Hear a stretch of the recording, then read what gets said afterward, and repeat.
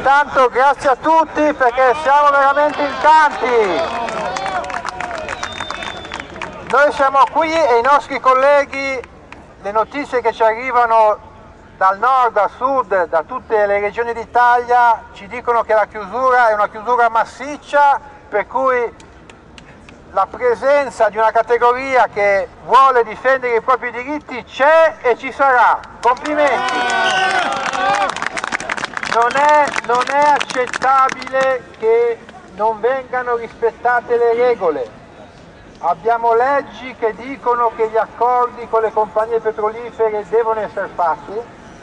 Le compagnie petrolifere non solo non li fanno, ma non li rispettano nemmeno ed è inaccettabile e questo andremo a dirlo al Presidente della Camera.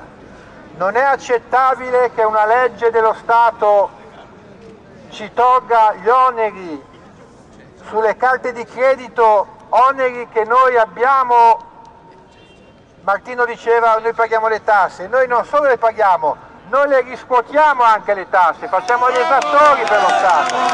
E non è possibile pagare oneri a favore delle banche che non rispettano la legge